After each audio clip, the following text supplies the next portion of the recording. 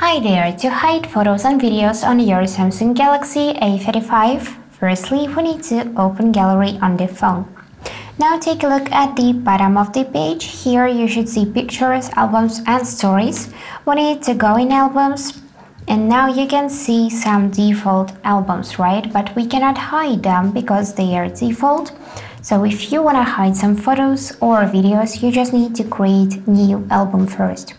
For that, tap this plus, choose album, and now you can rename it or just leave this option and tap create.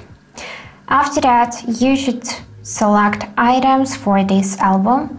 Let's choose some photos by tapping it like that and also we can select this video. And now we should tap done button and we just need to select move. Don't copy move those items into the album. So let's tap move.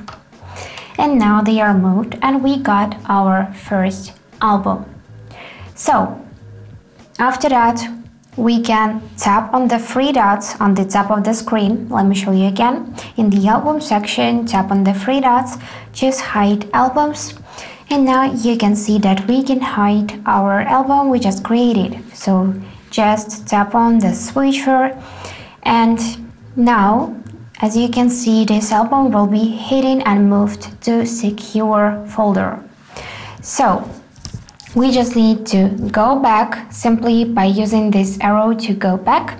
And this album simply disappears from the gallery with photos included in it and that's it for today. If you enjoyed this video, please subscribe, like and comment.